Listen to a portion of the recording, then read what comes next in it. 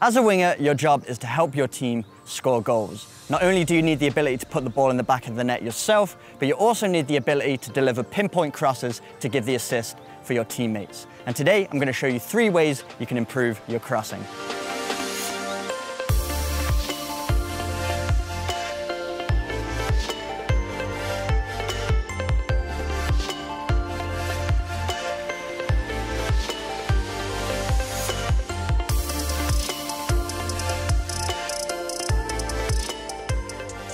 So for the first exercise, we're just gonna work with a stationary ball. Working with a stationary ball is a great way to develop your crossing technique before getting the ball on the move. So we set up an area inside the box and this is gonna be our target area to cross the ball into. And I've specifically placed it between the six yard box and the penalty area because stats show that the most goals are scored from crosses in this area. So we're gonna place the ball down, take a few steps back, and I like to approach the ball from 90 degrees towards my target. This allows me to wrap around the ball and really get that whipping technique that makes it really difficult for defenders and goalkeepers to deal with. And then the goal is to simply whip it into the box and try and make it land in that target zone that we've set up. And I'd recommend for the first exercise, trying it out from all different angles so you can be more adaptable when it comes to a match situation.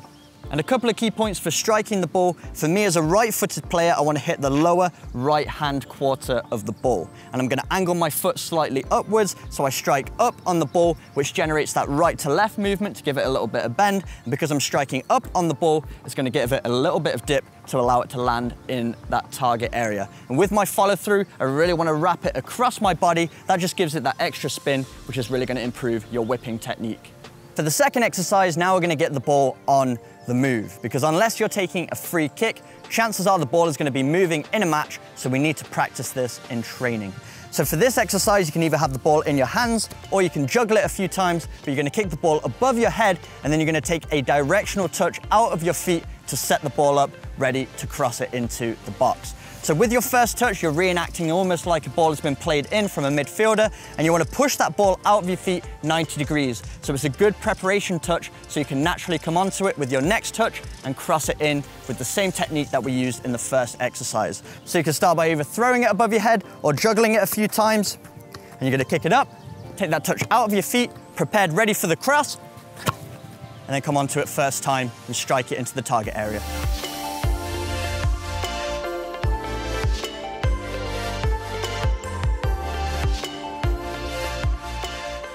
And for the third and final exercise, now we're gonna work on our dribbling and crossing. So there will be instances during a match where you actually need to beat the defender to create that little bit of room to cross the ball.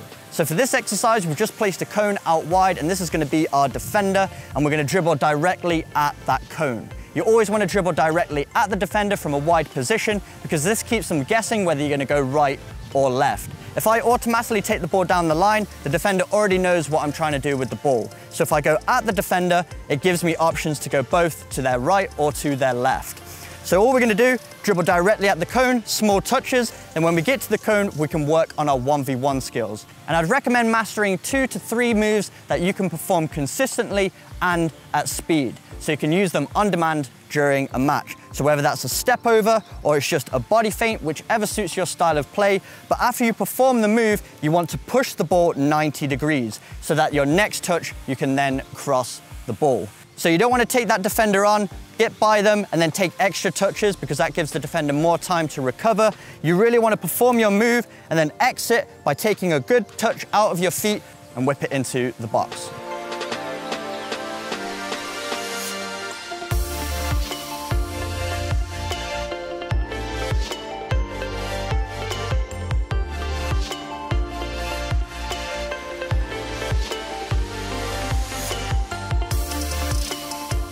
So there we have it, three ways you can improve your crossing and get more assists for your team. I'm Seven and until next time, I'm out.